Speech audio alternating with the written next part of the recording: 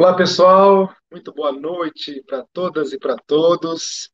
O meu nome é Glauber Loures de Assis. Eu tenho doutorado em Sociologia e atualmente tenho a honra de trabalhar junto ao Instituto Chacruna como diretor associado do Chacruna Latinoamérica, que é o braço brasileiro, o braço latino-americano do Chacruna Institute, que é uma organização sem fins lucrativos cuja sede está na Bay Area, em São Francisco, na Califórnia, e é dirigido né, pela nossa queridíssima diretora executiva, a doutora Beatriz Labate, a Bia Labate.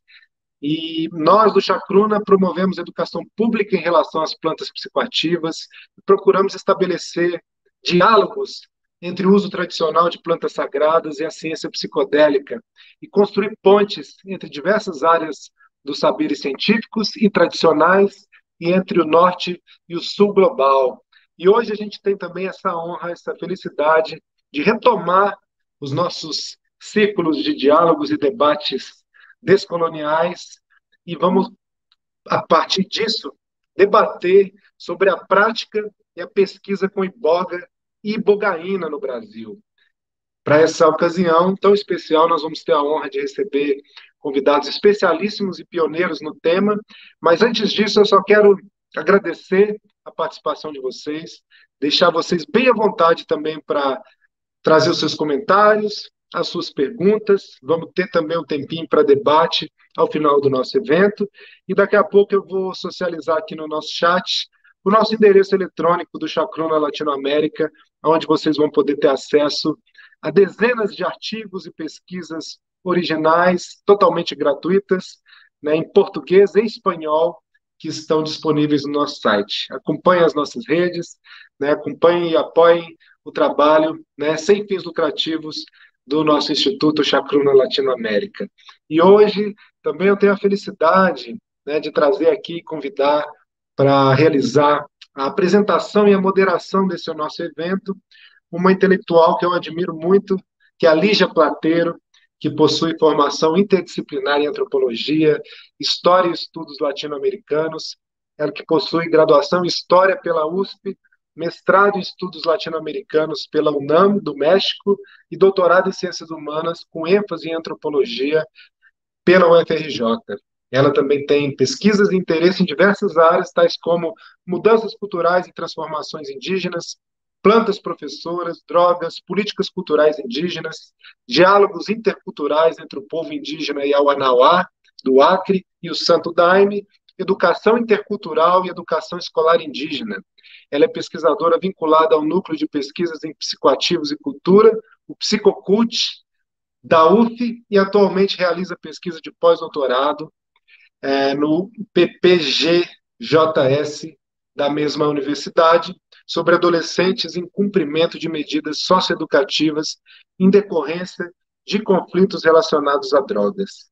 Então é com muita honra que eu chamo aqui a Lígia Duque Plateiro. Seja bem-vinda, Lígia.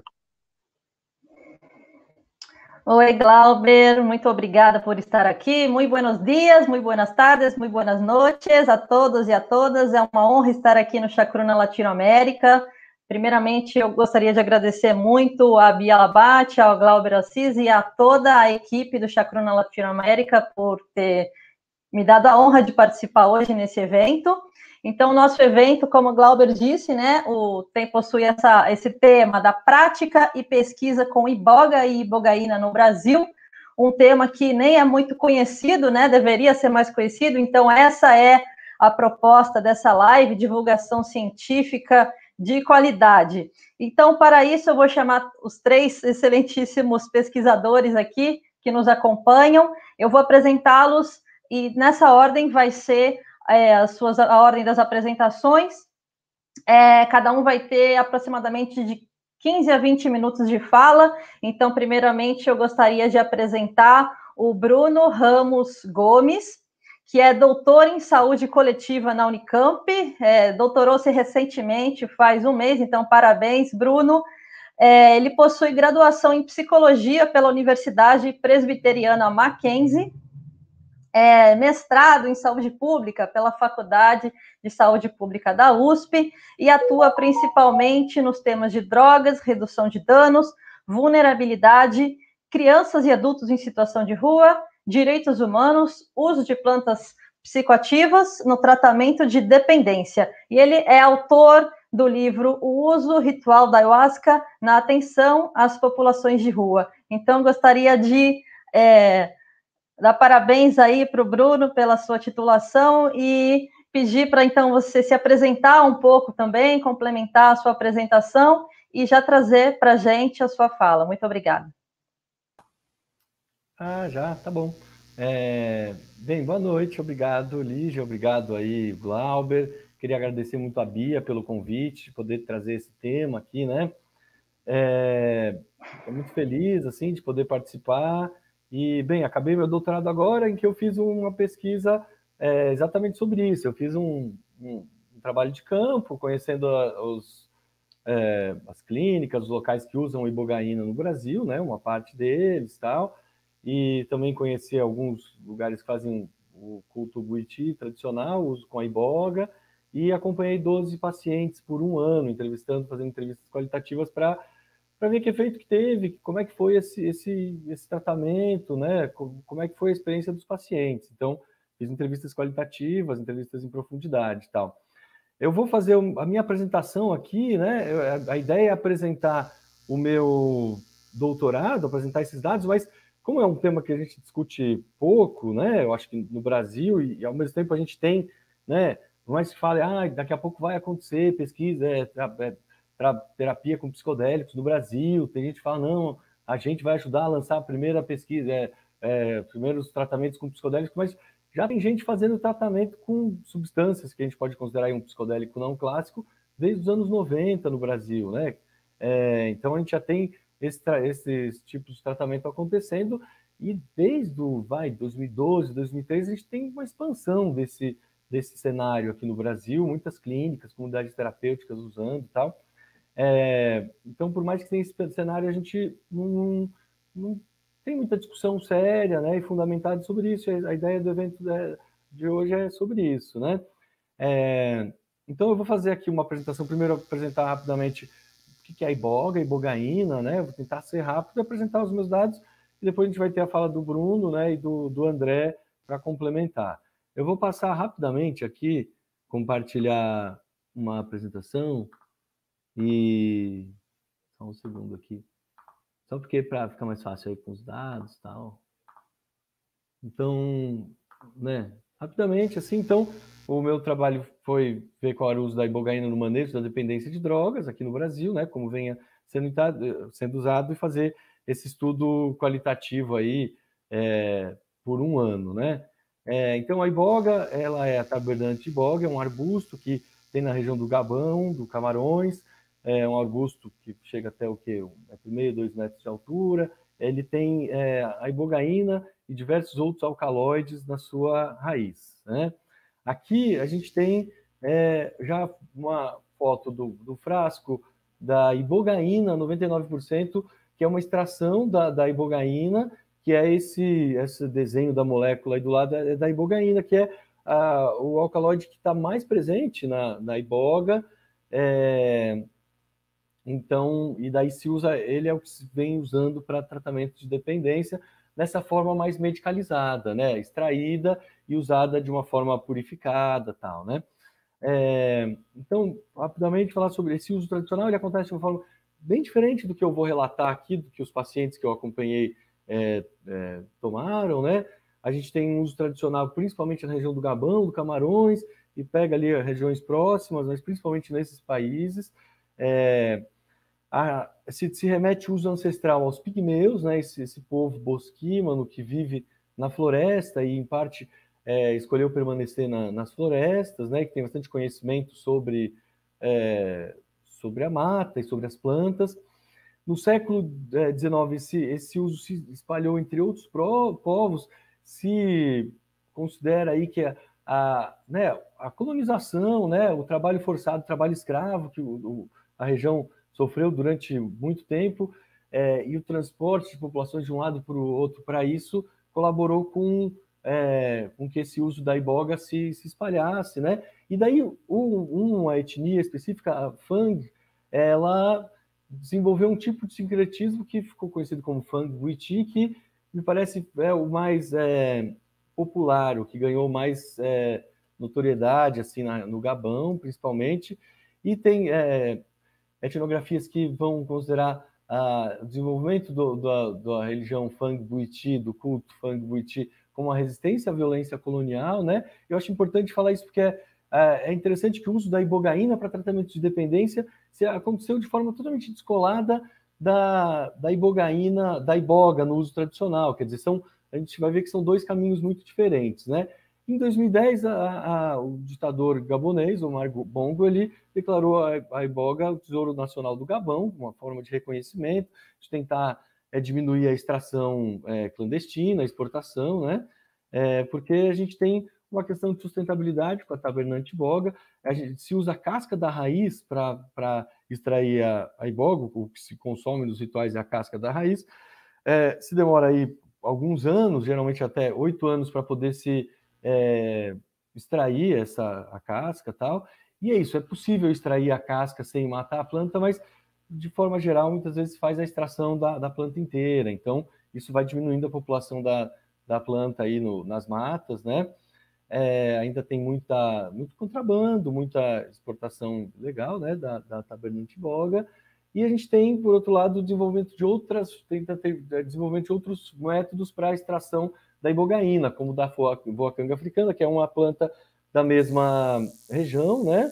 E mas que ela cresce mais rápido e principalmente ela tem ibogaína em quantidade menor em outras partes da planta e também tem a voacangina que pode ser transformada em ibogaína também e não necessita a, né, destruir a planta, né? É, e é interessante que na ciência ocidental, né, a gente vê os primeiros relatos aí no século XIX, é, então 1819, 1863, a descrição da ibogaína, da iboga, da planta, em 1889, já como um estimulante ou afro, e afrodisíaco, não como uma substância que traz efeitos é, visionários, né? É, porque a, a, ciência ocidental, a, a, a é, civilização ocidental aí, me parece que muito por conta da, da violência colonial, acabou entrando em contato principalmente com esse uso de pequenas doses, em que muitas vezes as pessoas mascam a casca para poder ter mais resistência, durar mais no trabalho, só numa dose mais alta, que a ibogaína tem esse efeito mais visionário, né? É, então, se usou durante a primeira metade do século XX a ibogaína como um estimulante, era vendida assim na França, mas como um, um guaraná em pó, algo que dá mais disposição, que ajuda no rendimento, né? E só nos anos 50 começaram os primeiros estudos científicos sobre o efeito alucinatório. É, a ibogaína, então, ela tem efeitos visionários, ela tem efeitos aí no, no corpo muito fortes também, né? De tontura, é, de perda de coordenação motora, e se, se encaixa ela no termo psicodélico, mas os efeitos delas não se remetem aos, cinco, aos receptores de serotonina 5-HT2A, como geralmente se relaciona nos efeitos dos outros psicodélicos, como LSD, psilocibina tal, né? É, e ela, ela ativa diversos receptores, nenhum muito com grande preferência, né? Ativa vários de forma mais, ou menos parecida. É, então não dá para dizer que é por causa de um receptor ou de outro o seu efeito. Ela parece ter um efeito mais complexo do que isso. É, os efeitos visionários parecem estar mais próximos do efeito aí é, da sálvia ou da ketamina, de certa forma dissociativo, né? Diferente de outros psicodélicos. E os seus efeitos terapêuticos podem estar associados, associados aí com uh, alguns efeitos no sistema colinérgico. Né? Então, a gente tem muito a estudar, muito a entender sobre o efeito da, da IBOG, da ibogaína. É, então, como eu falei, a gente tem efeitos diferentes de acordo com a dose. A gente tem, então, uma dose pequena, ela tem um efeito estimulante, antifadiga, né? É, então, você pode usar para trabalhar mais, para fazer longas caminhadas, tal. É, uma dose média que foi usada em terapias de, de psicodélicas dos anos 60, é, tem, já vai trazer visualizações e insights, e em doses mais altas vai trazer essa experiência que se aproxima do, do da iniciação do IT de é, renascimento, né, experiência de reset, como eu vou relatar daqui a pouco, de renovação, é, e a ibogaína tem os seus efeitos ali, né, durante a fase aguda, que a gente fala classicamente de três fases, que o, o Bruno Rasmussen vai comentar mais sobre isso, e tem esse brilho residual da experiência, um bem-estar, é, uns efeitos que duram aí por um, um tempo longo, né? Que alguns pacientes chegam a relatar meses, até um ano, né? E leva também a um aumento da sensibilidade do corpo ao efeito dos opioides, o que pode estar relacionado a algumas das mortes associadas aos tratamentos com ibogaína. É, então a gente tem esse uso tradicional que eu comentei rapidamente ali, né? E a gente tem essa subcultura que se chama de subcultura médica de tratamento, uma cultura clandestina, geralmente, de tratamento que se desenvolveu a partir de usuários tratando usuários. Isso é, é muito interessante, né? Porque se, é, constrói isso de, distante do, do uso tradicional e também descolado do, das pesquisas científicas. Algumas vão estudando, né? Mas a ibogaína já em 1970 é proibida junto com a maioria das, das drogas, né? Daquele movimento principal das guerras drogas tal. E o que dificultou muito as pesquisas, nos Estados Unidos é proibido até hoje, alguns países ainda é proibido. Então é isso, se barrou muitas pesquisas, mas nesse período aí teve então esse, esse psiconauta aí, usuário de heroína de 19 anos, em 62, que provou a ibogaína, teve uma experiência muito intensa e viu que depois não precisava mais usar heroína. Ofereceu a um grupo de amigos, alguns também ficaram, né, pararam o uso de heroína, e ele virou um grande defensor e promotor do, do uso de ibogaína para tratamento de dependência e foi o grande responsável por criar essa rede de tratamento que hoje em dia é mundial e que se desenvolveu práticas técnicas de como usar essa substância. Ele entrou em contato com terapeutas aí da, da Califórnia nos anos 60, que também usaram a ibogaína de forma diferente nas terapias psicodélicas da época, tal, né? É, então, também vou falar rapidamente aqui sobre os riscos, né? A, a, gente tem aí um efeito muito intenso da ibogaína, os efeitos são, são longos, né? Nos rituais Buiti, eles duram alguns dias, os tratamentos com que eu acompanhei, alguns duram alguns dias, é, alguns duram um dia inteiro tal. É, mas os estudos que a gente tem mostram assim, e daí tem alguns relatos de mortes que eu vou falar rapidamente também. Uh, a gente tem uma dose, nos estudos que a gente tem, que ainda são poucos, mas conseguem mostrar uma dose letal em ratos, que é de 263 miligramas por quilo, né, de 263 miligramas de ibogaína por quilo, né, do, do rato ali, e, e daí isso é, seria 10 vezes o que seria a dose recomendada aí pelo Howard Zlotsoff, que é uma dose bem alta, né, então não seria, digamos, uma overdose que levaria a essa, esses óbitos, a essa morte, é, e a gente tem aí alguns efeitos de náusea, né, perda de, de coordenação motora, de movimento, aí uma dose também quatro vezes da recomendada nesses estudos.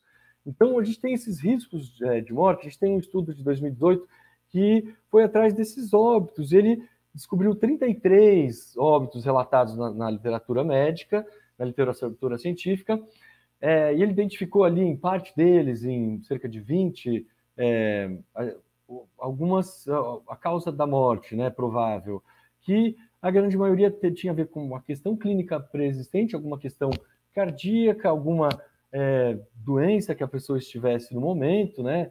É, ou o uso de, de opiáceos ou opioides antes, durante ou logo após o tratamento, ou também o uso agudo de álcool. A pessoa encheu a cara depois de tomar ibogaína, né? É, e a gente tem aí, então, algumas associa associação de algumas arritmias que vão levar também podem acontecer durante o tratamento que podem ser muito perigosas, tal. É, e é interessante, então, a gente tem isso daí que mostra um risco. E a gente tem né, a Global Ibogaine Treatment Alliance, acho, acho, que é isso o nome, que é essa aliança de tratadores de ibogaína internacional, fundada pelo Howard Lotsoff e por tratadores aí por, de diversas partes do mundo, é, e que construíram em 2015 esse manual em que afirma de alguma forma que é possível um uso seguro. Quer dizer, não, não, é que assim o paciente vai tomar ibogaína, ele não sabe se vai sair vivo, assim, sabe? É, se afirma que é com a redução dos opioides do corpo, com uma, uma triagem e um preparo é, criterioso, um acompanhamento e um suporte avançado para questões cardiológicas durante o efeito agudo, isso permite um uso seguro, né? Algo que é necessário se, se estudar e poder a gente ter mais dados sobre isso, mas a gente vai vendo essa diferença entre a cultura de tratamento, a cultura desenvolvida entre usuários e a cultura médica, a cultura é, científica de estudos, né? E por outro lado, o uso tradicional, como esses, essas coisas não estão distantes e tem algum diálogo apenas, né? É, no Brasil, esse uso ele não é nem proibido como uma droga, da ibogaína não é uma droga proibida, mas também não é um medicamento registrado na Anvisa. É proibido seu comércio, você não pode comprar ibogaína e vender né, para outras pessoas, mas é possível um médico prescrever, é, a partir de uma portaria da Anvisa, é possível o médico prescrever a ibogaína e o paciente importar a dose para ele mesmo é, no nome dele. Né? É, a gente tem, não tem nada sobre ibogaína, a gente tem algumas matérias da Anvisa afirmando que é proibido esse comércio e umas recomendações do Conselho Nacional é, Estadual sobre Drogas do Estado de São Paulo, que faz algumas recomendações, como uso hospitalar, que se faça mais pesquisas e tal. Então a gente tem aí um campo muito é, que precisa é isso, a gente precisa ter mais dados, mas também a gente tem um campo muito cinzento né, sobre esse uso, e a gente vai tendo um uso não regulamentado em clínicas e comunidades terapêuticas que não seguem nem esses critérios aí mínimos, né, de, de proibido comércio, importação no nome do paciente e tal. E a gente tem um óbito que foi noticiado publicamente no Brasil é, sobre com uso de bogaína, né, em 2016. É, e aqui eu vou apresentar rapidamente então os dados do meu do meu, do meu minha pesquisa, né? É, então no Brasil eu pude identificar aí algumas formas de uso, né? Então principalmente para tratamento de dependência. É, a gente tem um uso em, em, hospital, a gente tem um hospital, então, que faz esse uso é, a partir dessa importação pela Anvisa, tal, né? Dessa forma, digamos, o mais regular que seria possível. Daí a gente tem aí um, um, um hall de, de clínicas, que são comunidades terapêuticas, clínicas de terapias alternativas, clínicas às vezes só que oferecem ibogaína tal, e que tem aí, vão, madura, é, variam sua graduação de, de formalidade. Algumas são bem é, clandestinas, informais, outras têm página tal, é, mas geralmente não parece que elas fazem essa importação dessa forma aí que a Anvisa recomenda, porque para isso a, ibogaína que vai ser importada precisa ter esse, esse molde aí é, médico, é, farmacêutico, né? Precisa estar produzido de acordo com as boas práticas de, de produção de remédios, né? É, e daí a gente tem, então, uh, eu, identifiquei aí centros ayahuasqueiros que usam também a, a iboga, né? Alguma extração da ibogaína, não é exatamente a iboga. E é, tem, a gente daí tem essa cultura de usuários que se recuperaram com a ibogaína que começam a tratar outras pessoas. Então, dois dos que eu entrevistei, da, dos lugares, lugares de tratamento que eu entrevistei, seguem esse parâmetro. É interessante, a gente vai ver como é, um cara que se recuperou com alcoólicos anônimos e abre uma sala de AA, um cara que recuperou com a comunidade terapêutica e abre sua comunidade terapêutica, para seguir um pouco esse molde, né, do contexto aí do, do, do, dos tratamentos de dependência, né? E daí na internet é possível encontrar também é, grupos oferecendo home care, né, quer dizer, tratamento a domicílio, a pessoa vai até a sua casa e te dá ibogaína, é, também microdose né, de ibogaína, que vende, você compra em casa e promete uma, um efeito sem riscos, tal, né? É, e eu identifiquei também poucos grupos que fazem a iniciação tra tradicional Buiti ou com ocidentais que fizeram uma formação é, com limas, né, com curandeiros é, Buiti, ou com é, trazendo é, gente tradicional Buiti do Gabão para fazer as iniciações aqui no Brasil, né? E que daí segue outros moldes. Eu acho que é importante falar que essas clínicas, cada uma vai ter sua forma de triagem, o tipo de extração que usa da ibogaína, os, quantos dias dura o tratamento e tal. Já o, o uso tradicional Buiti, ele acontece, é isso, a forma de, de triagem, né, para ver se a pessoa pode ou não tomar a iboga, participar da iniciação Buiti, é diferente da forma como se faz nesses locais. É, a, a, forma como se vai dosar a substância, ela varia, o, o ritual tem um ritual, é, onde acontece que é muito diferente, a maioria desses lugares não tem nenhuma música tocando, tal, né? É, e tem aí uma consulta com um, um, um, curandeiro que vai guiando, que vai direcionando, e a partir do que a pessoa vai, vai é, experimentando, vai vivendo com, com no efeito da iboga, da iboga, ele vai dosando para que a pessoa possa entrar no mundo da iboga, que é o mundo dos antepassados, e viver esse renascer, se renascer como um iniciado buiti, alguém que conheceu o espírito da iboga, né? Falando assim de forma superficial sobre o contexto tradicional. Uh, então aqui eu vou falar também sobre os efeitos que eu identifiquei nos 12 pacientes que eu entrevistei, né? 11 pacientes que eu entrevistei tomaram ibogaína para tratar dependência e uma paciente é, que eu entrevistei estava tomando ibogaína para tratar depressão. É, como eu entrevistei é, pessoas de quatro que foram tomar em quatro clínicas diferentes, a gente vê que a forma como a pessoa foi é, preparada, o que se falou sobre a ibogaína ou sobre a iboga para ela, é, alterou muito o sentido da experiência, né? Então, a gente tem aí tratamentos que aconteceram em cinco dias, tratamentos que aconteceram em dois dias, tratamentos que aconteceram em um dia. Alguns que ligavam mais a, a ibogaína, às vezes a, remetiam ao uso tradicional, alguns é, relacionavam a ibogaína como uma substância que vai é, desfazer caminhos neuronais e que vai desfazer a, a, dependência no cérebro da pessoa em dois dias, tal, né? Isso mudava muito o sentido da experiência, como a pessoa se preparava, o que ela dava, valorava, o que ela considerava importante ou não na sua experiência, tal, né? Teve até pacientes que tiveram efeitos muito intensos da ibogaína e não identificavam que tinham é, é, experienciado algo significativo porque esperavam algo muito diferente, né?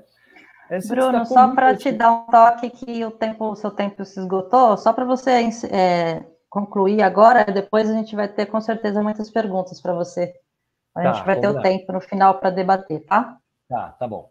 Então, bem, então vou acabar aqui, né, é, rapidinho essa parte.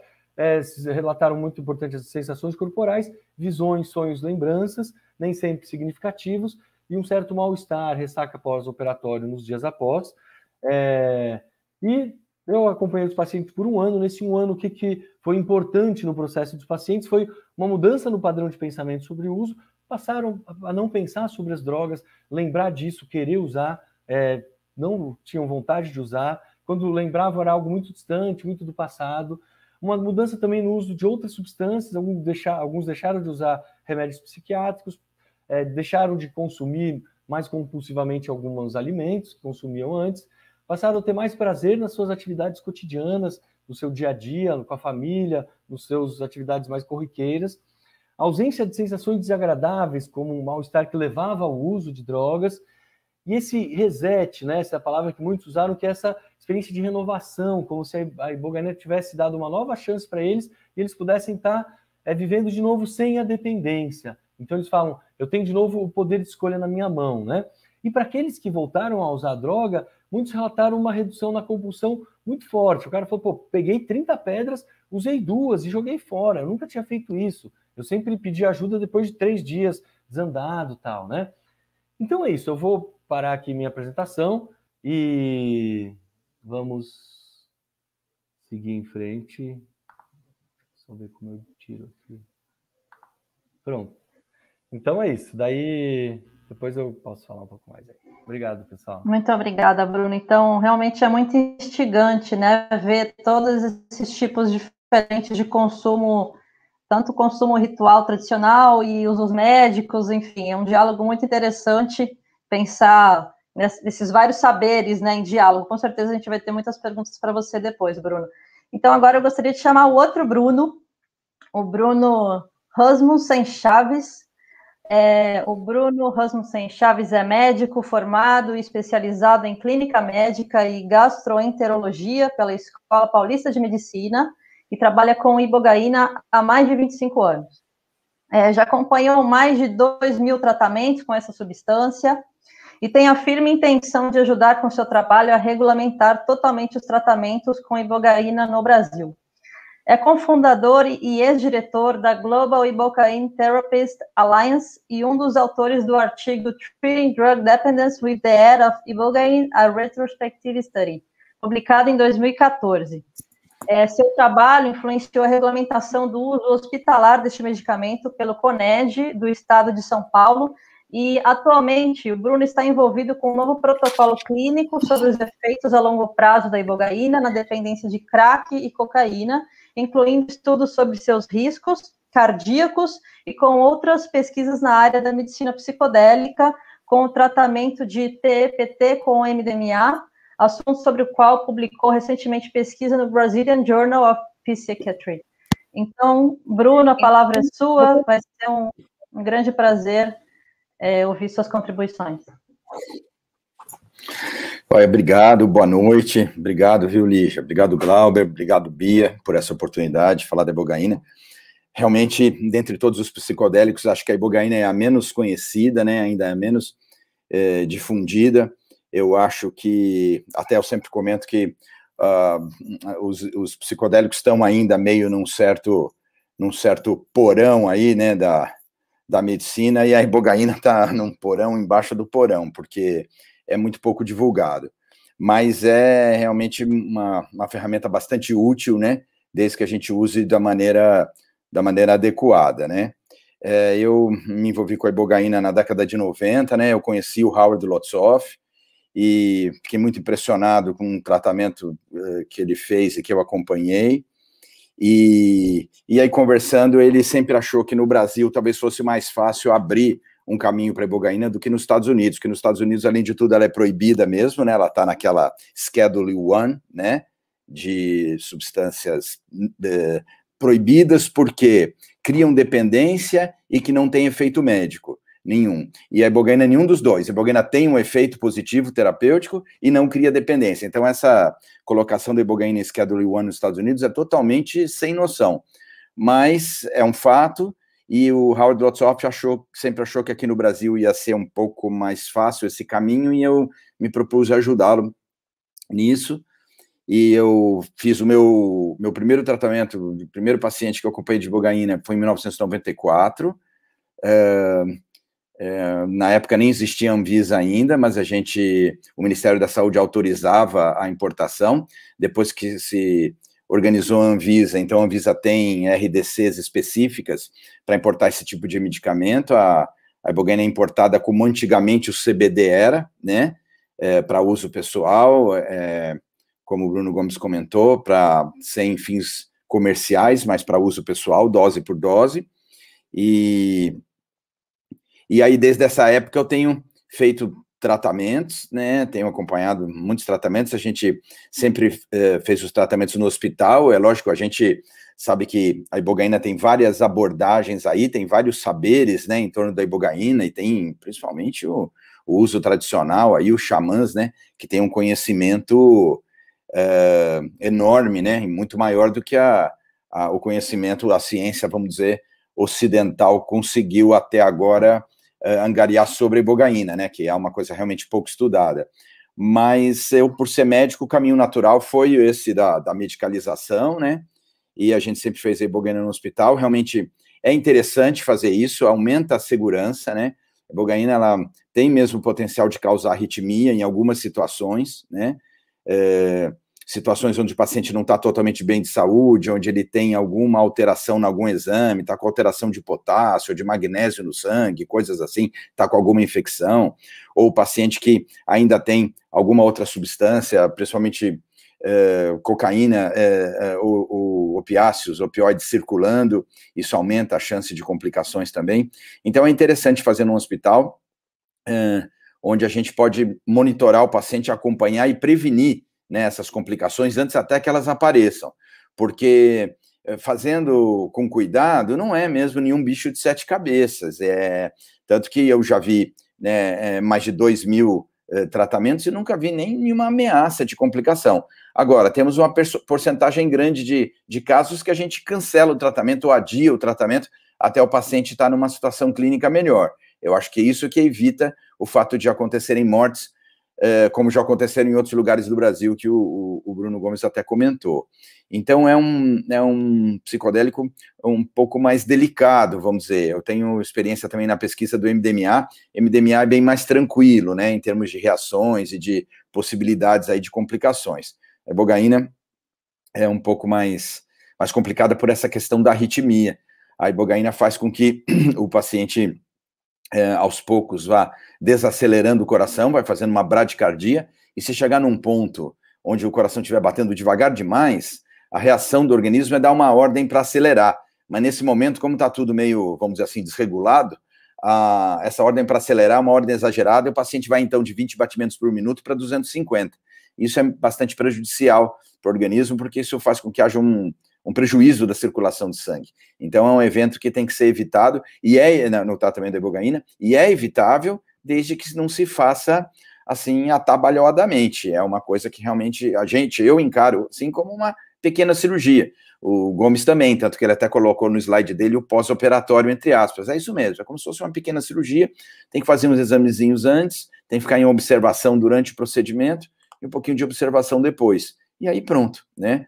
É, é também é, a gente acredita no modelo né, da psicoterapia, né, assistida por psicodélico, então é um facilitador da psicoterapia, tem algumas características é, típicas da ibogaína que não, não facilitam muito a psicoterapia durante o efeito, né, a, a pessoa durante o efeito da ibogaína não tem muita disposição de conversar, muita disposição de falar, é, tem até uma certa dificuldade de falar, até por coordenação mesmo da, é, né, da musculatura, né, o que se chama disartria, né, e é, é, um, é, um, sintoma que acompanha os tremores, que acompanha a tontura, né, que a ibogaína causa e que são consequência de uma certa irritação do cerebelo.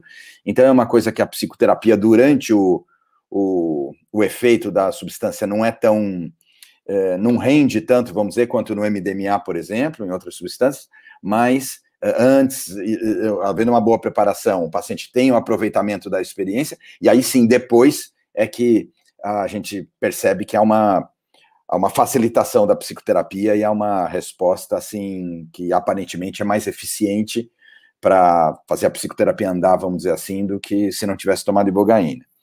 É, eu eh, depois de ter acompanhado alguns tratamentos com ibogaína eh, nessa década de 90 e começo dos anos 2000, procurei o, professor Dartil, foi meu professor durante a faculdade, do professor Dartil Xavier. É, a gente se organizou para fazer uma, uma, pesquisa. Inicialmente, a nossa ideia era fazer um ensaio clínico. A gente teve alguns problemas de financiamento, né, que é, a, é o problema clássico de tudo que é ensaio clínico, né. Então não deu para fazer um clinical trial, a gente acabou fazendo um, um estudo observacional é, junto com a Maria Angélica Gomes e o Eduardo Schemberg, e a gente publicou em 2014 esse trabalho e mostrou, é, com as limitações, né, lógico que o estudo observacional tem, mostrou uma eficácia bem assim, promissora de ibogaína e muito diferente da eficácia dos tratamentos tradicionais para dependência química. E é o que eu sempre falo, se a gente ainda tivesse um monte de remédios maravilhosos para dependência química, podia não prestar muita atenção na ibogaína, mas não tem nada. As coisas, o que se usa no dia a dia aí para dependência química, nada funciona bem, não tem nada que funcione mais do que 10%, né, de eficácia. Uh, então, não se pode deixar de olhar a ibogaína. O único detalhe é ter esse respeito, né? É, não é um medicamento qualquer, não é uma substância qualquer, vem de uma planta né, professora, é um enteógeno, é uma substância que vai fazer a pessoa alcançar umas profundidades aí, né, do seu psiquismo, da sua alma. Então, tem que ser feito com muito cuidado e com bastante respeito, mas é muito útil se for feito assim. É, é, é a gente, como comentei, é, a gente faz ibogaina no hospital, a gente faz um, um processo de 24 horas de internação, né? A gente é, interna o paciente logo de manhãzinha cedo, em jejum, o paciente toma uma dose de bogaína. É, para o paciente tradicional que procura a gente é, para tratamento de dependência química, são usuários de estimulantes, cocaína e crack. A gente tem outros casos, outras substâncias também, mas a grande maioria é de cocaína e, e de crack.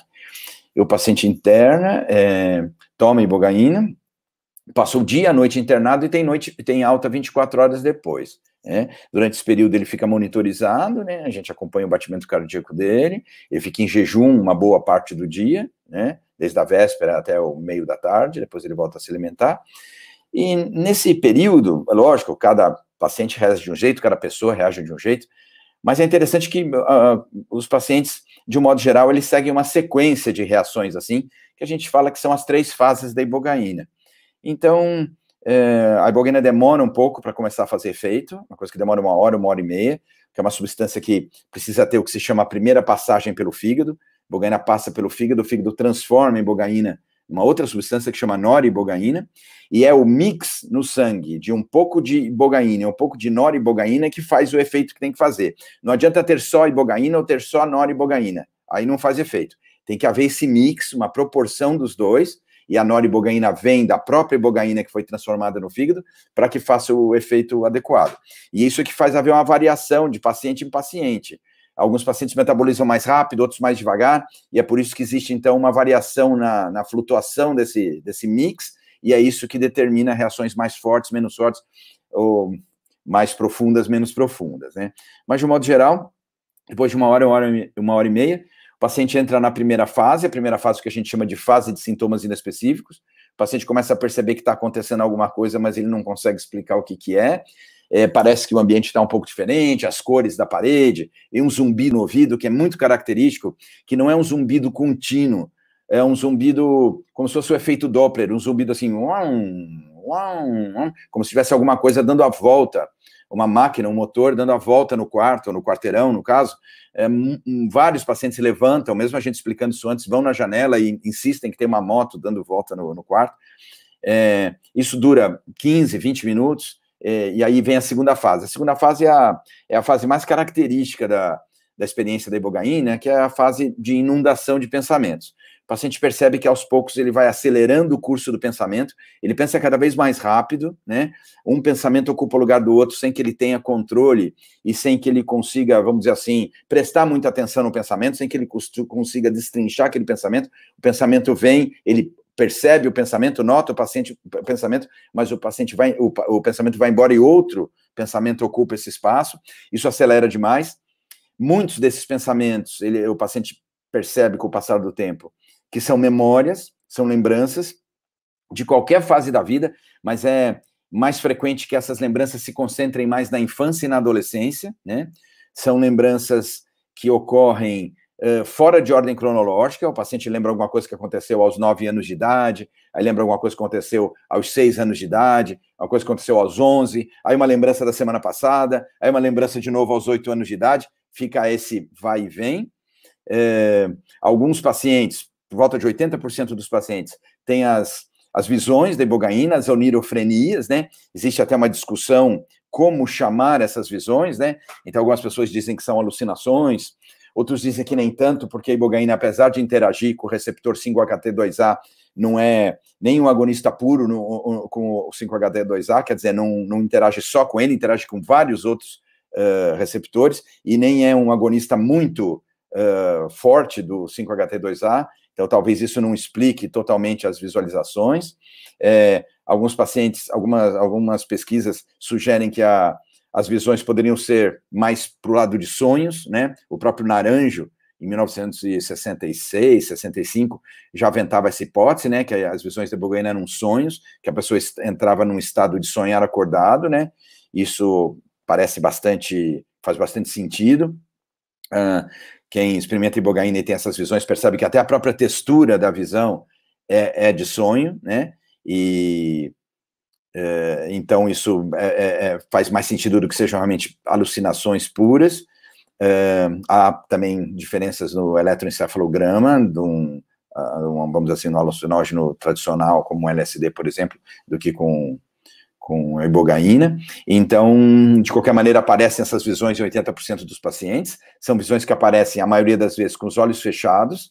Uh, aparece nesse preto, né, que se, que se forma quando a gente fecha os olhos, aparece uma tela, né, é, e essa tela, nessa tela se projeta uma imagem é, colorida, né, essa tela, para a grande maioria dos pacientes, é uma tela em formato widescreen, é isso, é isso que as pessoas descrevem, e nela se projeta uma imagem uh, a cores em câmera lenta. E alguns pacientes, depois de algum tempo de experiência, conseguem até adquirir a, a faculdade de, observando a imagem, conseguirem mentalmente ordenar que a imagem, que a imagem volte num rewind, né, e, e permita que vá para frente de novo e consegue rever essas imagens. Uh, muitos pacientes referem isso. E quando se abre os olhos, as imagens desaparecem, quando se fecha os olhos, aparecem outras imagens, né?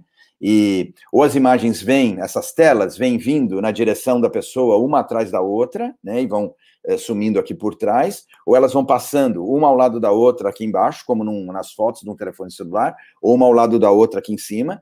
Isso varia de paciente para paciente, normalmente é um padrão de cada paciente, então o paciente que começa a experiência vendo as imagens vindo, ele normalmente termina a experiência vendo as imagens vindo, e o paciente que vê as imagens passando de lado a lado, como no celular, ele termina a experiência assim.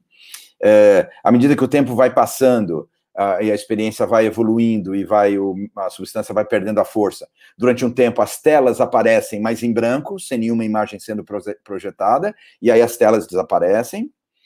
Uh, e aí a pessoa entra na terceira fase. A terceira fase é a fase que a gente chama de fase de perguntas e respostas.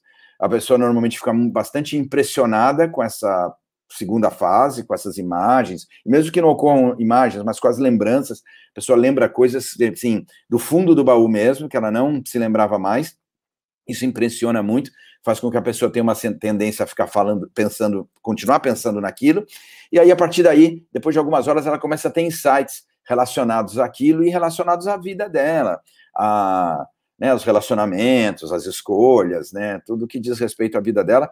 E aí, é o, na minha opinião, é o ponto mais positivo da experiência quando você está focando num, num, numa ajuda aí para uma pessoa que está com uso problemático de droga, porque ela consegue fazer reavaliações que ela antes demoraria meses a anos para fazer, e ela consegue ter aqueles insights e fazer aquelas ressignificações que depois, quando ela, nos dias subsequentes, ela vai para a terapia novamente, ela está mais aberta e a terapia rende mais.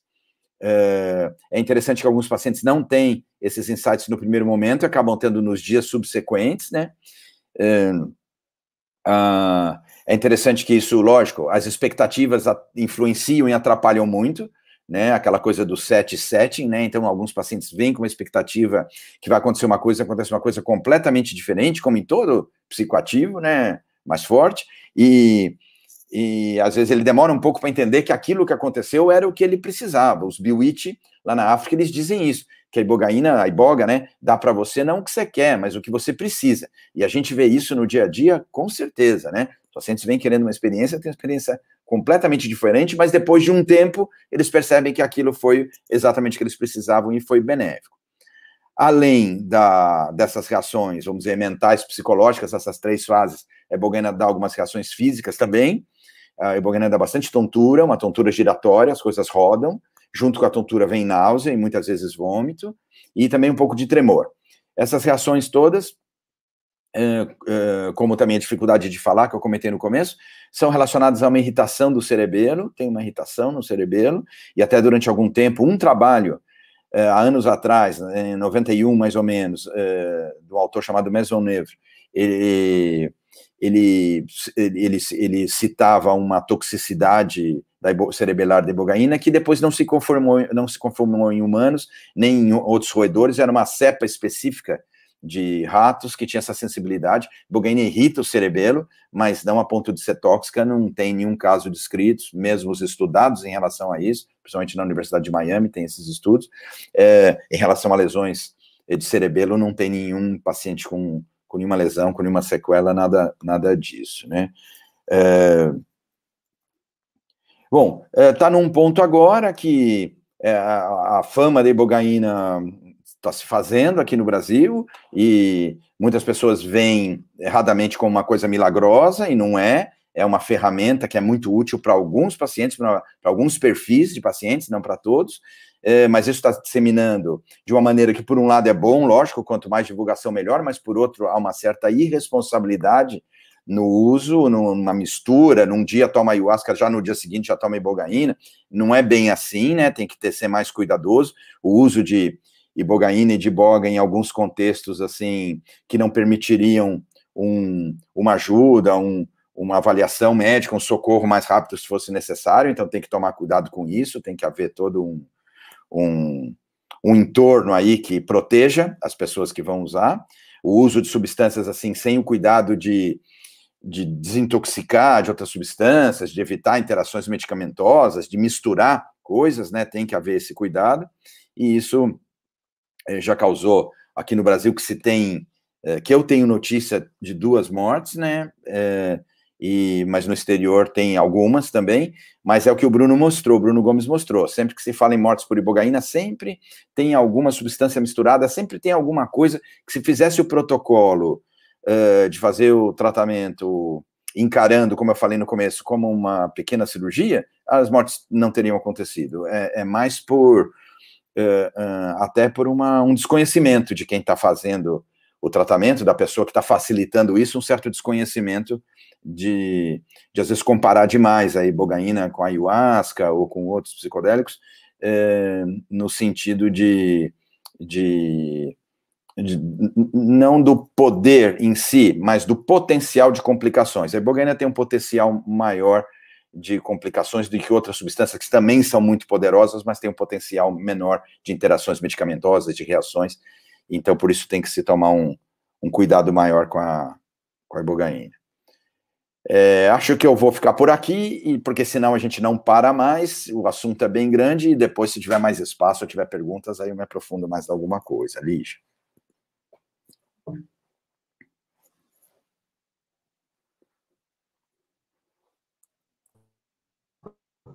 Acho que eu estava sem som. Eu falei, então, muito obrigada, Bruno. Daqui a pouco, então, você retorna aqui com a gente. É, e agora eu vou chamar, então, o André Brooking Negrão, que é psiquiatra e doutor pela Faculdade de Medicina da Universidade de São Paulo, é, supervisor no programa do Grupo Interdisciplinar de Estudo de Álcool e Drogas, no Instituto de Psiquiatria do Hospital das Clínicas, FMUSP, pesquisador principal do ensaio clínico duplo cego de ibogaína e placebo para pessoas com transtornos pelo uso de crack, cocaína, é, no Instituto de Psiquiatria do Hospital das Clínicas da FMUSP. Então, muito obrigada, André, por estar aqui conosco. É, vamos ouvir, então, a sua apresentação por volta de 20 minutos, tá legal? Obrigado, Lígia. Obrigado, Glauber, também. Mas, antes de tudo, o convite, né? Mas começou através do Bruno. O convite, agradeço a, a Bia pela iniciativa e, é fascinante saber que tem o Chacruna Latinoamérica, assim, para divulgar esses outros aspectos que, que, talvez a, academia, vamos dizer, de ciências biomédicas é, não aprecia tanto, mas que são fundamentais quando a gente fala de psicodélicos. Então, vamos lá, eu vou é, passar, são poucos slides, um, Deixa eu me adiantar aqui, então.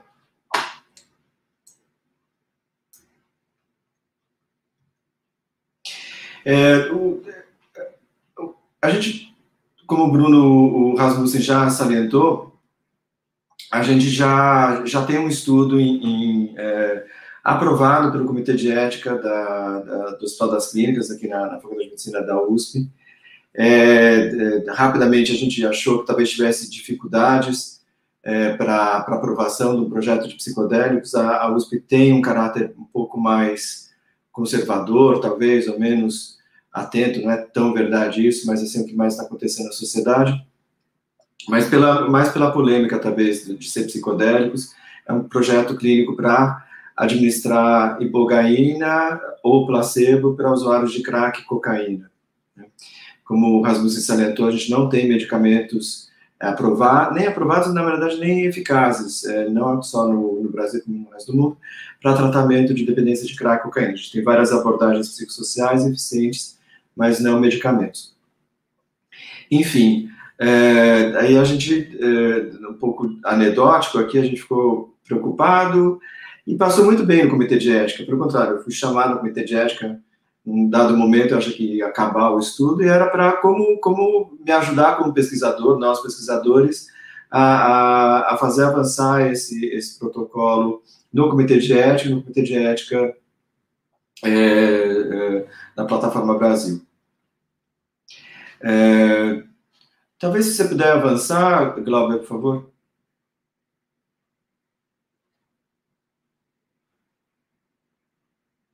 Isso, pode avançar um pouco mais. Bem, bem no meio da figura, isso. Maravilha. Rapidamente, pessoal, é, vocês vão ver no slide seguinte que são poucos os estudos é, é, com pessoas né, em tratamento para dependência de crack, cocaína e opioides com, com ibogaína, e são muitos os estudos experimentais. De alguma maneira, a ibogaína atraiu muito a, a, a atenção de, de pesquisadores moleculares e, e experimentais né, em modelos animais. Então, esse é um estudo rápido, uma revisão, saiu no Translational Psychiatry, uma revista de bastante impacto dentro da área da psiquiatria, para mostrar que em modelos animais a ibogaína funciona muito bem para coibir um comportamento já condicionado no laboratório de uso de ou cocaína, ou de álcool, ou de opioides. Então, são diferentes estudos, né? São, é uma meta-análise, né? Você faz uma reunião de estudos quando você tem um número suficiente de estudos. Então, em modelo animal funciona muito bem. Né? Vamos a, a, avançar próximo slide? Então, esse é um resumo. Eu, eu, eu, basicamente, nesse, nesse slide são todos os estudos que já se publicaram até hoje, é, em que se usou ibogaina numa, numa situação um pouco mais controlada, em que se perguntou a gravidade do, do, é, do uso de crack, cocaína e de heroína e opioides, se administrou ibogaína e se verificou o que a gente chama de desfecho, se a pessoa melhorou ou não, se recaiu logo em seguida ou não. E nenhum deles é controlado. O que, que quer dizer isso? É com uso de placebo. Né? Toda a medicina, desde a década de 50, 60, não é só na psiquiatria, ela passa a ter como um padrão ouro o uso de estudos duplo cego controlados é, a substância que você acredita que vai trazer um benefício e o placebo, que seria uma substância inerte. Nenhum desses estudos aí que vocês estão vendo usou o placebo. Então, essa é uma falha dentro da, a gente pode até discutir, talvez seja um tema de discussão, por que está demorando tanto ter estudo, ensaio clínico duplo cego controlado, que é o nome com, com ibogaína. Né? Aqui tem o estudo do Schenberg, que o, que o Bruno citou, que ele, ele participa como autor também. É, mas vamos adiante. Então, a gente, como eu já adiantei, a gente escreveu um, um protocolo duplo cego, dose única em usuários de crack e cocaína. É, pode parar aí é importante que, que os, as administrações de Bogaina são sempre doses únicas, pode ser repetido ou não. Nesse estudo, a gente procurou mimetizar, se aproximar o que já é feito é, corriqueiramente em clínicas. É, é, vocês estão vendo aí o número do Bruno, porque ele, ele é, é das pessoas no mundo, Bruno Rasmus, que mais sabem, ou talvez a pessoa que mais sabe, e administrou e acompanhou o começo, durante, o depois, uma nova tomada de Bogaína. Então, ele tem um papel fundamental aí, como mentor do, do estudo da gente aqui no, no HC. É um trabalho em colaboração com a Fitostan. A Fitostan é a, a empresa que importa é, é, a ibogaína, a ibogaína de melhor qualidade que pode ter no, no mercado nacional, e ela vai fornecer para a gente a, a ibogaína para realizar esse primeiro estudo, que não é só no Brasil, mas no mundo, até onde a gente tem conhecimento. Vamos para o próximo acho que Rasmussen e, e Bruno Gomes já salientaram o risco, é, só para ilustrar que, de fato, já tem modelos animais, moleculares, é, que eu falei, já tem muita pesquisa, em, é, não em humanos, mas em outras é, situações, né, moleculares ou, ou, de animais, assim, sobre ibogaína. Então, de fato, ela leva a uma alteração cardíaca de alongamento do intervalo QT, que a gente chama. Próximo.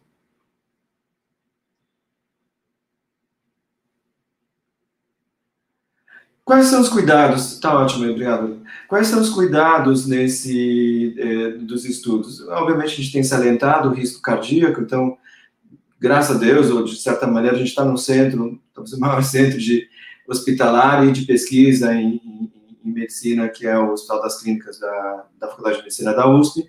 Então a gente entrou em colaboração com a divisão de arritmias. Né? O problema da, da pode ser arritmia a gente entrou em contato com a divisão de arritmia, então, nesse estudo da gente, que é feito no Instituto de Psiquiatria, a gente colabora com o Instituto do Coração, o INCOR, é, justamente para não só dar segurança à equipe e, a, e, a, e às pessoas que vão receber ibogaína, mas também formar trazer isso um objeto de pesquisa também. Qual é a dose que leva a alteração, não leva a alteração cardíaca, estabelecer isso de alguma maneira clara? Será que a dose que a gente está administrando é segura mesmo, não é? Quanto tempo fica a ibogaína e a noribogaína, como o Rasmussen estava salientando que é o metabólico principal da ibogaína, quanto tempo fica no organismo? Já existem informações assim, mas a gente vai fazer de uma maneira muito mais controlada, como é o jargão científico, é, no setting do, do de Psiquiatria. Outra questão que é fundamental, né, dentro da, de todos os saberes de usos de, de plantas é, professoras e, e, do universo da psicodelia, é, é o setting. Né? O, a gente sabe que influencia. Então, como controlar esse setting?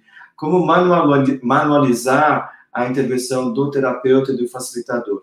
Né? A gente vai estudar 40 pessoas tomando placebo, 40 pessoas tomando ibogaína, elas ficam uma semana internados, internadas é, na, na, enfermaria especializada em dependência química do Instituto de Psiquiatria, e aí no sétimo dia a gente administra ou placebo e ibogaína, as pessoas não sabem, é o cegamento, né, que a gente fala, o blinding, né, para estudos controlados, é, tal como foi feito na MAPS com MDMA e PTSD, né, na publicação que, saiu no, no, Nature Medicine, e mais recentemente também do grupo do, do Imperial College fazendo a psilocibina contra estalopram, quer dizer, o mesmo desenho de estudo que é importante ser feito.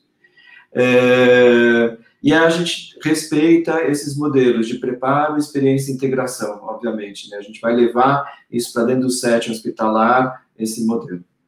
A questão aqui é como fazer o treinamento dessas pessoas, né? Talvez seja mais um objeto também da discussão da gente mais adiante. O próximo, por favor. Esses são os desfechos que a gente fala, quais são os objetivos. Então, a gente vai administrar a substância, a pessoa fica mais três dias por segurança, né, até que a gente se certifique que não tem nenhuma alteração cardíaca. Ela recebe alta e ela é acompanhada é, é, por seis meses ou até 12 meses no ambulatório de, de álcool e drogas, que é o GREA, é, no Instituto de Psiquiatria. Aí a gente vai ver quanto tempo a pessoa, se eventualmente recair, quanto tempo demora, a gente vai comparar o grupo placebo e bugaína, é, se recair, quantas vezes recai, que quantidade de, é, de, uso de cocaína ou de outras substâncias vai ocorrer. E óbvio que a gente é, sabe que é um impacto muito grande, quando de fato a pessoa entra na experiência é, psicodélica ou enteógena, ou, ou, como se quiser. Então, a gente vai, é, vai avaliar outros parâmetros da vida dessa pessoa, ela antes, ela após, e comparando com o grupo que, obviamente, recebe placebo. Então, aspectos como espiritualidade, religiosidade, convívio social, desempenho cognitivo, porque a gente tem uma firmeza que, às vezes, o comportamento de uso de substâncias está muito arraigado e talvez ele não tão facilmente não, não se desfaça logo após a ibogaína, mas que outros aspectos da vida claramente melhorem, e obviamente que esses aspectos é, de, de, crescimento e de, de revisão é, do indivíduo podem facilitar, aí sim, é, que ele é, passe a modificar os comportamentos ligados ao uso de substâncias. Acho que a gente pode seguir, talvez seja o último. Esse é só um desenho, um diagrama esquemático, mas eu tenho a impressão que eu fui, aos poucos, é, é, já falando qual que é o, o desenho do estudo, e eu tenho a impressão que a gente pode, pode finalizar aí, Glauber. Obrigado, eu estou aqui aguardando aqui a, a, a, interação aqui com os meus colegas, mas também com as pessoas que, estão nos assistindo. Obrigado. Muito obrigada, André. Então, que bom, assim, foi realmente uma aula para mim, é, muitos conhecimentos, muito, muitas informações que, que eu não sabia, enfim, acredito que para a maioria do público também. É, eu gostaria, então, de fazer somente breves comentários, para depois a gente partir para outras perguntas do público.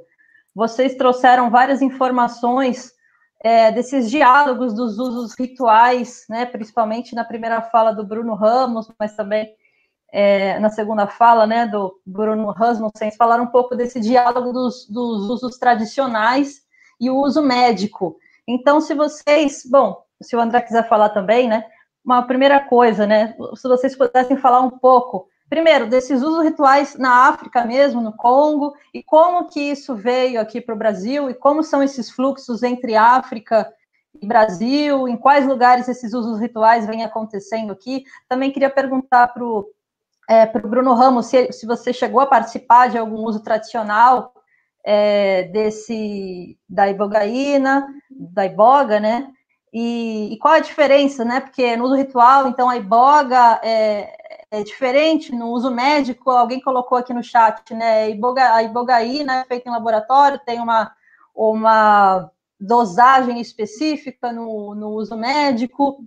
É, como são essas diferenças, né?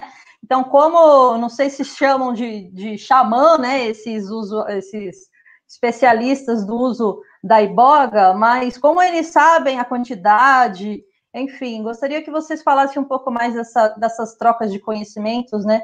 Que os, os médicos têm tido com essas experiências tradicionais, inclusive aqui no Brasil. E também entender né, que tipos de transformações essas experiências com a iboga tradicionais têm ocorrido aqui no Brasil, né? Que, ao chegar no Brasil e como vem sendo ressignificado aqui no contexto, no contexto brasileiro, e se isso, como isso está é, também ligado a esses fluxos e trocas com a nova era, nessas né? pessoas das religiões ayahuasqueiras, quem se interessa por isso, né? Quem que é o público da iboga e da ibogaína? Quer dizer, quem são essas pessoas que buscam esse tipo de tratamento de dependência?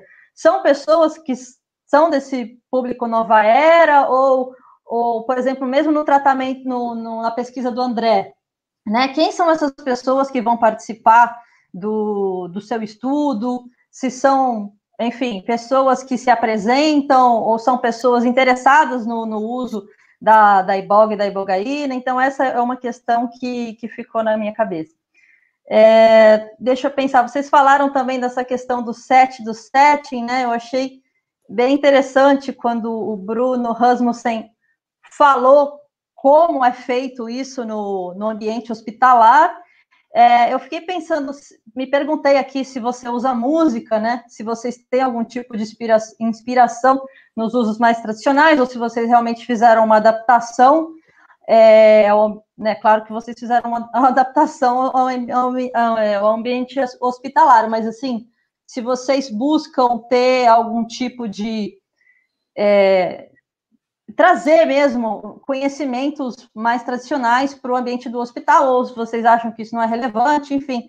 E também você, é, o Bruno é, Rasmussen falou bastante dos resultados, né, da, na pessoa, como a pessoa se sente ao usar a ibogaína é, eu fiquei me questionando se tem essa, se, se vocês conhecem estudos que falam das diferenças dos, do, de como a pessoa se sente nos usos rituais ou no uso hospitalar, né? Essa questão do set do setting, né? Agora falando do setting, o contexto, se quais são as diferenças do, de como a pessoa se sente, né? Porque você falou do zumbido, da, dos pensamentos, a memória, é, e eu vi muitas semelhanças com a ayahuasca, né? Eu acho que não é à toa que as pessoas fazem muitas comparações com a ayahuasca.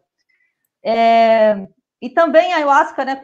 Como a própria pesquisa do Bruno mostra também, tem uma importante relevância nessa questão do tratamento de dependência, né? De, de usos problemáticos de drogas, enfim. É, então, a outra questão que eu gostaria de perguntar é porque eu vi em um trabalho de uma colega nossa, é, Aline Oliveira, que fala sobre a sananga, e ela fala que tem ibogaína na sananga. Então, é, eu gostaria que você falasse se vocês usam de alguma maneira essa sananga, né, que é trazida pelos vem vem passando por essas trocas, esses fluxos da, do, do, dos povos indígenas do Acre para várias cidades do Brasil e do mundo, né, nesses rituais xamânicos, é, vem se expandindo o uso da sananga, né, que para o povo indígena o Anauá, por exemplo, eles dizem que é, é, o colírio da floresta ou raio nos olhos, né? Eu não sei se vocês têm algum tipo de uso da sananga, é, ou realmente como que seria, se existe esse tipo de diálogo nesse, nesse contexto de, de diálogos entre os saberes científicos e os saberes mais tradicionais. o que mais que eu gostaria de perguntar? É, enfim, a gente está falando então muito dos usos problemáticos, né? De drogas e uso da ibogaína, mas a ibogaína, pelo que eu entendi, não é usada apenas em contextos de usos problemáticos de drogas, né? A ibogaína ela é utilizada em contextos religiosos. Aí, se você até, Bruno Nunes, puder falar, se você falou dessa religi dessas religiões sincréticas na África, que acredito que você falou que influenciadas pela religião do colonizador, acredito que é o cristianismo, né? É, enfim, se você puder falar um pouco disso, né? Se tiver mais informações. É, e bom, eu vou, eu vou deixar vocês falarem um pouquinho, que eu acho que eu já falei demais. E, é, e, temos também perguntas do público, então depois eu trago essas perguntas do público. Eu não sei por que, que o André saiu da tela, mas acho que daqui a pouquinho ele vai voltar.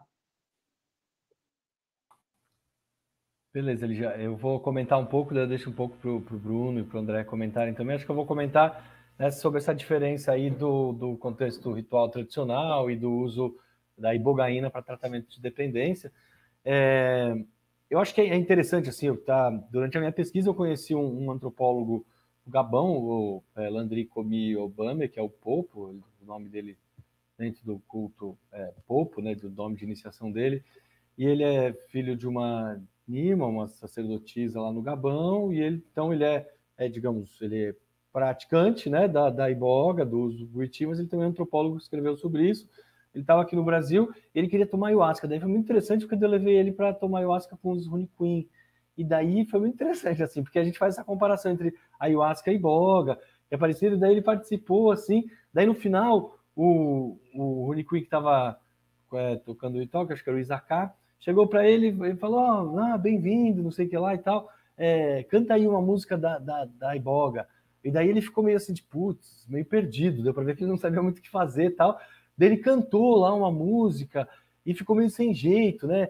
E daí no final do ritual eu falei, e aí, o que, que você achou? Você achou parecido e tal?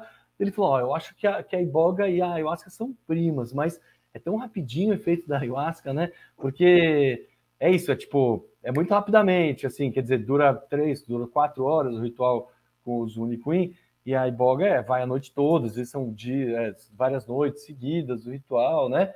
E daí quando eu fui escutar música é, Buiti, né, do, que se usa em iniciação, é muito diferente da ayahuasca. É até difícil para ele, ele, cantar durante ali, porque tem uma música muito mais frenética, tem, tem né, um, uma harpa, tem um berimbau de boca que se toca, tem um chocalhozinho, mas que é num ritmo super frenético, as músicas duram 10, vezes 15 minutos.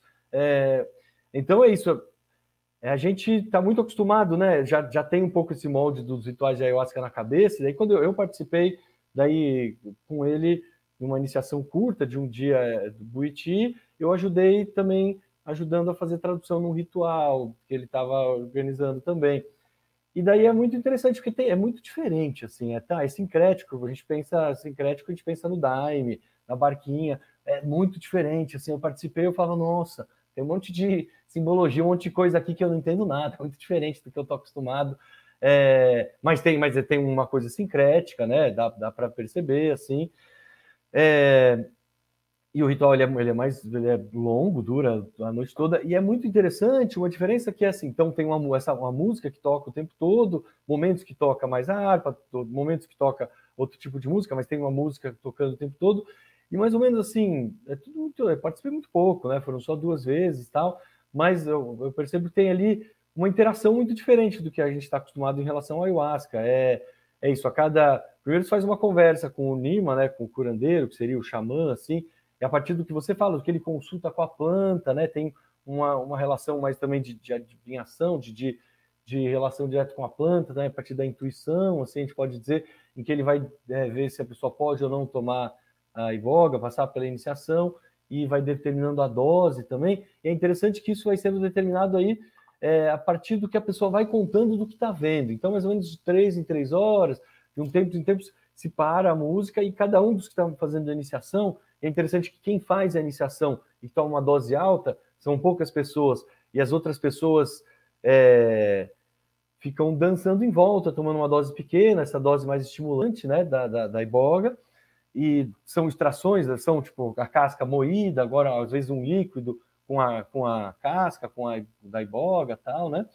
É, e de três em três horas, cada pessoa que está fazendo a iniciação tem que contar o que está vendo para o Nima, e o Nima, é, daí ele vai lendo um pouco, né, entendendo, dizendo o que, que a pessoa está vivendo, e a partir do, da experiência que a pessoa está tendo, eu entendo que ele vai dosando ali a, a iboga, né, para que a pessoa chegue aonde? Ela chegue aonde se, se espera, que é encontrar o espírito da iboga, entrar no mundo da iboga, né? Isso é muito diferente da dosagem é, que se faz no uso é, terapêutico, no uso em tratamento, e que vai ser definida por quilo, né? A partir do, do, da, do peso da pessoa, tal. É, apesar de que algumas pessoas que eu, que eu entrevistei que faziam uma dosagem mais artesanal, iam dosando, dosavam a partir de um brilho que viam no olho da pessoa. Então, tem esses usos mais artesanais, né? E como eu falei, o uso é, tradicional, ele continuou lá de uma forma estigmatizada no Gabão, né? Então, é, se considera que parte, boa parte da população gabonesa participa de, de rituais, ou participou, tem alguma relação com algum culto buiti, mas é, esconde disso. Então é meio que tipo, ah, que nem brasileiro que vai na Umbanda, mas não fala, mas no senso fala que é cristão, que é católico, sabe? Essas coisas assim. Então o culto ficou mais restrito lá, então tem pequenos grupos que saem. No Brasil a gente tem grupos estão ligados aí com um, um, é, contexto, né? As redes Nova Era, mas é isso, os rituais são muito caros, então é isso, 4, 5, 7 mil reais para você fazer a iniciação do o que leva aí a uma estratificação, né, de uma classe média alta, pessoas mais, né, de padrão econômico mais alto, tal, e estão ligados com, com uma ideia assim de, de nova era, de, de autodescobrimento, mas de autoconhecimento, e mas também pessoas que vão se tratar para alguma coisa, eu, eu, eu, eu conheci, né? É, mas eu vejo que esses contextos eles, eles caminham muito separados. Então, no Brasil, a gente tem essas clínicas que falam do uso tradicional, falam do uso de uma planta professora, mas o uso ele é pensado a partir das doses por quilo, etc. E, é, e também se, se vai é, explicar o efeito não a partir da, do espírito da planta. Não é considerado uma planta viva, mas é considerado uma substância que vai desconstruir, vai produzir novos caminhos neuronais, então, de um efeito cerebral, assim, né? Então, a compreensão que circula nos meios de tratamento estão mais nesse olhar já mais ocidentalizado, não o olhar de uma planta viva que se comunica com você, que te leva, né, e que te mostra coisas que você precisa ver. Mas eu acho que é interessante que a gente tem relatos também de pessoas que usam em tratamento, em tratamento mas que consideram a questão da planta, então se consideram servos da planta, que fazem um trabalho pela planta, né? É, e que falam, pô, não, a pessoa está sendo chamada pela planta para conhecer. Então, tem aí algumas misturas, mas eu acho que dá para dizer que esses os, os rituais Buiti no Brasil, eles acontecem de forma muito localizada, em grupos pequenos, de forma assim pontual, né? E eu acho que é isso. A gente precisaria ter uma, uma plantação de boga no Brasil para a gente poder ter uma popularização disso no Brasil, que eu acho que seria muito rico. Acho que teria, seria possível uma aproximação daí do culto Buiti com cultos de umbanda, com uma, uma diversidade de cultos afro-brasileiros que já existem, mas eu acho que é isso. O, a questão do, do valor, do, do, do, custo, né? Eu acho que ele acaba limitando muito hoje em dia. Mas eu acho que, com o passar dos anos, é isso. O Brasil vai é, antropofagizando as coisas. Imagino que vai ter aí uma aproximação, uma mistura, né? Mas eu, alguns dos lugares que eu visitei eram pessoas de grupos de ayahuasca que usavam também ibogaína, né? É, então, para não me estender muito, eu vou passar agora para o Bruno e para o André também comentarem o comentário da Lígia.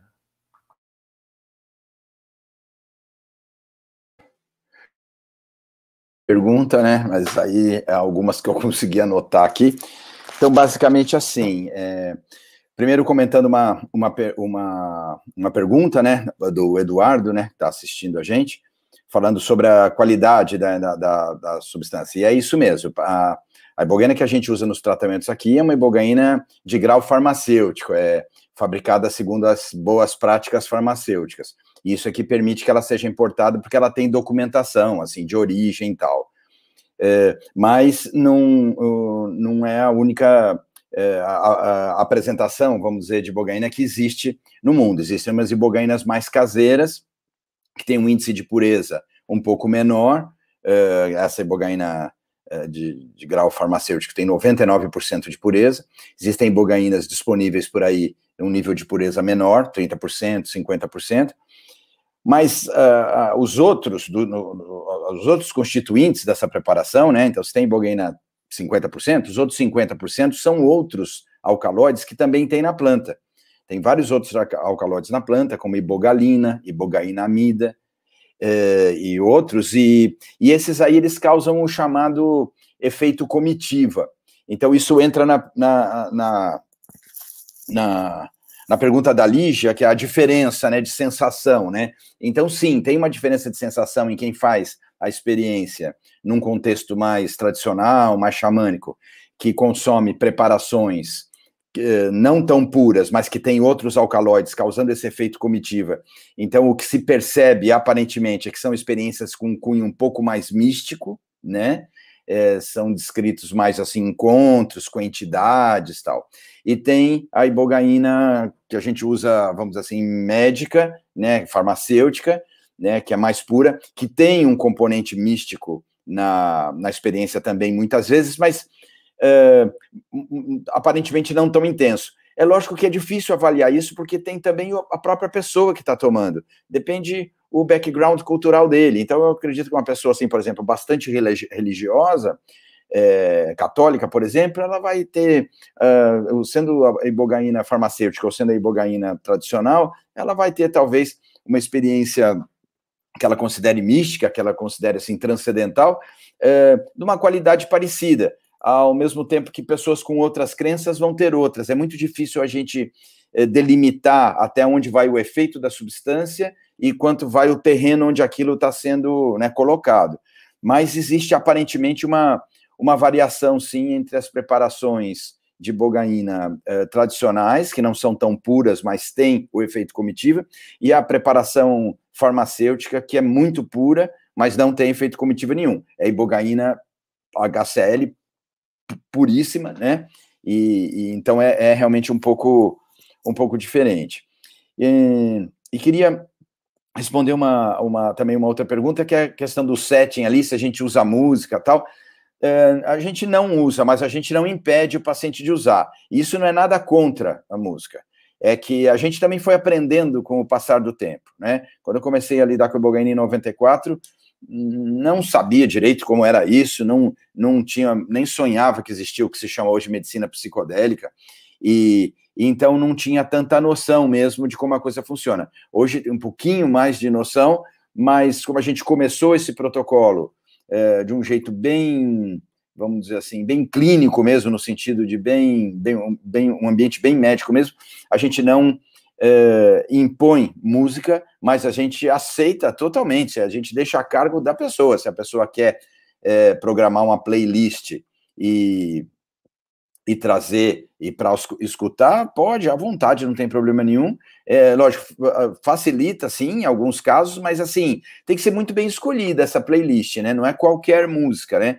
Tem que ser, tem que ser músicas que, que de alguma maneira, facilitem, assim, a abertura, né, da pessoa, uh, e não qualquer música, tem que ser música de qualidade, porque uh, a pessoa, sob efeito de ibogaína, ela fica muito sensível, uma música que traga uma lembrança desagradável, que tenha que esteja pareada com alguma lembrança não muito boa, pode ao invés de ajudar atrapalhar bastante, né? A pessoa fica muito sensível com a ibogaína.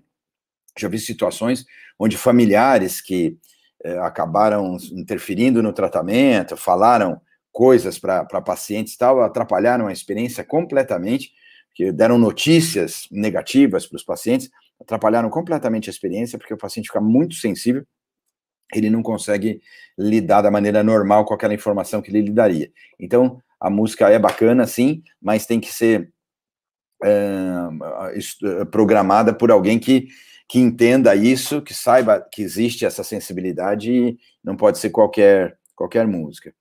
E queria responder uma das perguntas que apareceram aqui no, no chat, né, é, do Patrick, é, que ele pergunta qual que é o efeito da ibogaína, assim, por, o que, que explica o efeito, né? E o efeito que explica é, basicamente, assim, são vários, na verdade, porque a ibogaína ela interage com vários receptores, mas basicamente o que se acredita mais é que a ibogaína ela, ela muda, muda a neuroplasticidade, ela muda a arquitetura do cérebro, ela faz com que ocorram conexões em lugares onde não tinham conexões antes e onde e que se restaurem conexões onde já tinha. Né? Esse é um efeito típico de psicodélicos, outros fazem isso também, está comprovado. Ayahuasca, psilocibina, tudo isso interfere na arquitetura cerebral, tem efeito de neuroplasticidade que é interessante saber, porque quando eu formei, por exemplo, em 84, se dizia que tecido nervoso não cicatrizava, não regenerava e que não tinha como. E hoje se sabe que com essas substâncias, pelo contrário, existem hormônios no cérebro, né, os fatores de crescimento cerebral,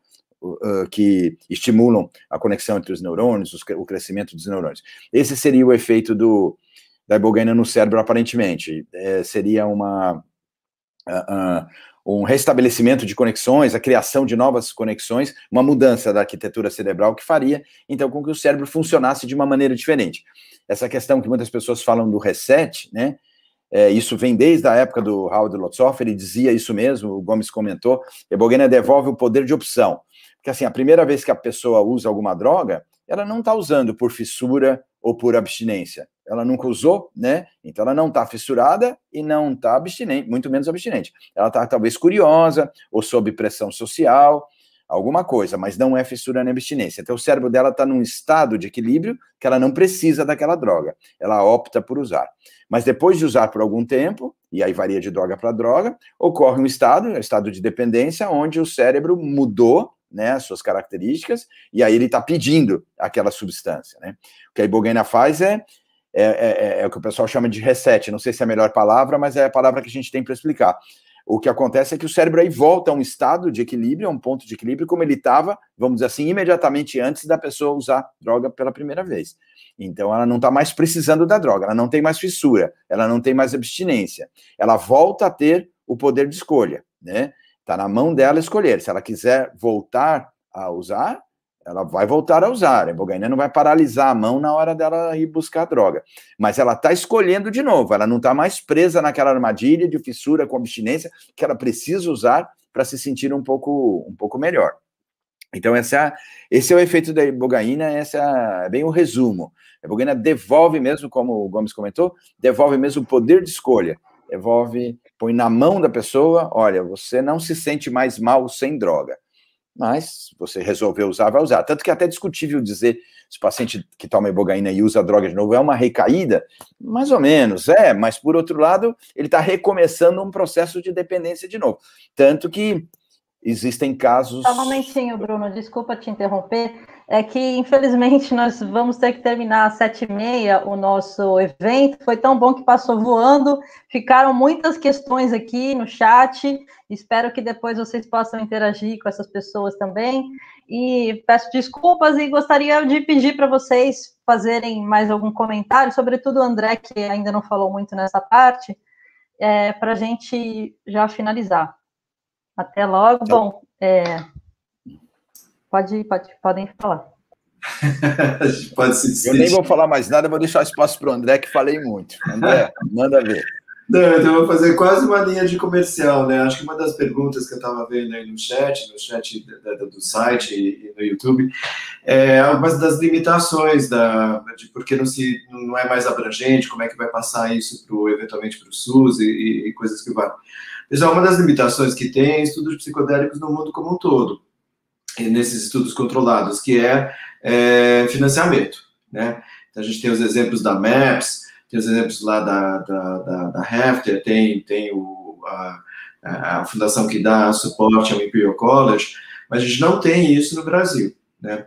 Então, enquanto isso não existir, né, e esse que acho um problema que envolve a nós todos aqui, né, a gente está falando, talvez mobilizar o pessoal do Chacruna aí também, da Chacruna, mas a gente precisa articular os stakeholders lá, é a palavra é, em voga aí, para como se faz isso, né? Porque, se vocês terem uma ideia, esse estudo vai ser feito graças à, à doação da, da ibogaína pela Fitostan, mais uma verba muito contida que a gente tem no GREA, né, no Grupo de Estudos de Álcool e Drogas do, do Instituto de Psiquiatria, que são verbas que a gente gera dando cursos, dando palestras, mas é uma coisa pequena.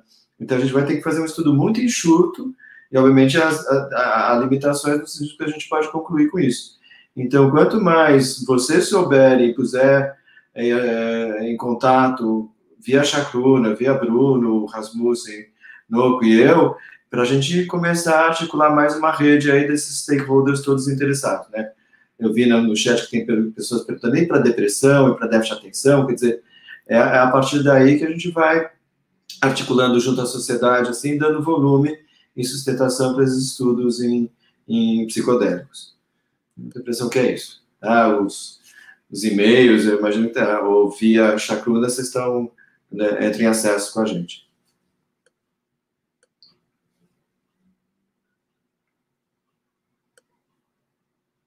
Brunos, Lígia.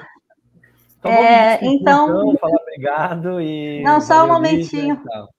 Com certeza. Só um momentinho que antes da gente encerrar, eu gostaria de chamar aqui a Bia Labate, é, com muita honra. Só um a chamo aqui, ela é diretora executiva do Instituto Chacruna. Antes da gente encerrar, eu gostaria de chamar aqui a Bia Labate, É, com muita honra, a chamo aqui, ela é diretora executiva do Instituto Cruna. Antes da gente encerrar, Olá, Bia.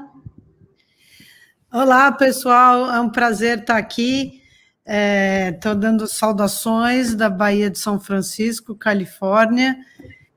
Para mim é, é, super interessante ver essa conversa no Brasil, né? Porque é tão natural, tem uma coisa assim eu não sei explicar, aqui é tudo, tem uma camada de mistificação, de estigmatização, de burocratização, de regulamentação, de patologização, de é, tudo. É, e no Brasil, mal ou bem, com todos os paradoxos, eu acho que tem essa cultura muito mais forte dos psicoativos, né? Porque tem uma abertura maior e mesmo com as regulações e o uso médico, é um uso médico versão mais tropical, é uma coisa que é menos regulamentada, o tanto de regulamentação que tem nos Estados Unidos, né? A começar que tudo é, é federal e estadual, então são é, é uma sociedade praticamente submetida a dois governos permanentemente. E a maneira como as discussões se dão no Brasil, esse elemento cultural e das práticas sempre está muito mais presente. Eu falo isso porque eu acho que quando a gente está perto não repara é, tanto, mas eu vou dizer para vocês aproveitarem que é muito bom poder fazer pesquisa e prática clínica e, e uso ritual num país assim, é, que é, realmente existe um, um elemento de tensão aqui em relação a tudo. Esse era um comentário que eu queria fazer, e o outro comentário que eu, particularmente, tenho um pouco de preconceito com essa mistura da ibogaína com o bufo, ou 5-MDMTO, né? Sempre acho difícil falar essa palavra. É uma coisa que está muito na moda aqui também. É muito, muito, muito na moda. Aqui a retórica toda é, é tratar o PTSD, né? Estresse pós-traumáticos dos veteranos, dos soldados de guerra uh, com ibogaína e bufo. E, então, essa, essa é toda. Não só a ibogaína, também o êxtase, MDMA, uh, enfim, todo o tratamento dos veteranos, mas tem uma, uma celebração muito forte de como essa combinação teria ajudado muitos veteranos e essa via de dizer que tem legitimidade para os veteranos é uma grande via de aceitação, porque tem esse grande patriotismo, né? E é uma espécie de vaca sagrada, vamos dizer assim, você ajudar os soldados, ajudar. É... Fora que os números são terríveis, né? Parece que uma estimativa de morte de 20, 22 suicídios por dia de veteranos. E o VA, que é a instância responsável por tratamento desses veteranos, é super criticada como é, problemática, sem recursos, com pouco sucesso. Então, essas terapias psicodélicas, qualquer coisa que ofereça uma alternativa para os veteranos, é visto com muito bons olhos. E aí, todas as campanhas de legalização, por exemplo, de descriminalização, qualquer assunto, qualquer é, documentário, entrevista, palestra, congresso, o que as pessoas mais procuram é colocar no centro a voz de algum veterano. Então, ou também pode ser alguma celebridade de esportes que teve um dano cerebral ou algum outro tipo de é, grave consequência.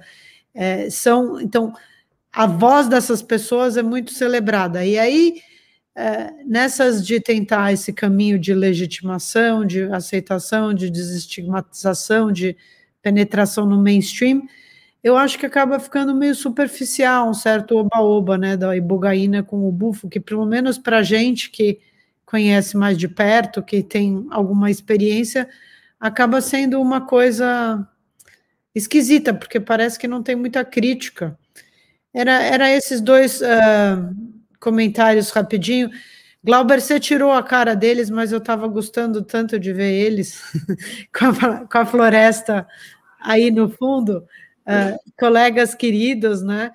Eu sempre aprendi Obrigado. muito com o Bruno, uh, escutando as histórias dele e a Lígia, uh, cumplicidade pela paixão pelo México, e o outro Bruno também sempre meio à distância, mais presente de alguma maneira nas, uh, nas, nas, palestras. Só não conhecia você, mas é prazer conhecer. E é isso, gente. Estamos aqui sentindo muitas saudades e acompanhando um pouco horrorizada os desenvolvimentos do Brasil, admirando todo mundo que, que consegue ainda fazer pesquisa e ter um, é, eleições de vida ideológicas, né?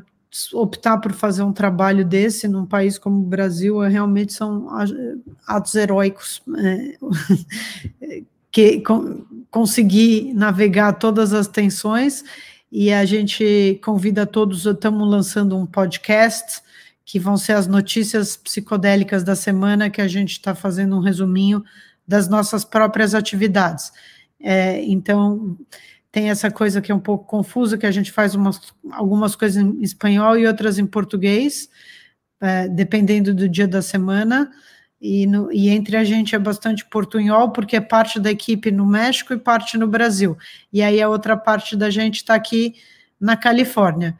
Então, uh, convido todos a seguirem a gente nas redes, continuar apoiando o Chacruna nas suas causas libertárias e revolucionárias, anti-homofóbicas, anti-opressoras, anti-machistas, revolucionando o mundo da ayahuasca no Brasil, que acho que esse patriarcalismo já já está mais do que caquético e eu fico feliz de ver a, a Lígia, homossexual assumida, casada no Daime, e aqui a gente é uma ONG liderada por um casal gay, é, eu e a minha esposa, e estamos aí celebrando. É mais fácil falar isso aqui na Califórnia do que no Brasil. Então, parabéns para todos e um grande abraço e aguardem o próximo evento. Tchau, tchau, fica bem. Alô, obrigado, viu? Obrigado pelo convite também. Igualmente. Tchau, gente.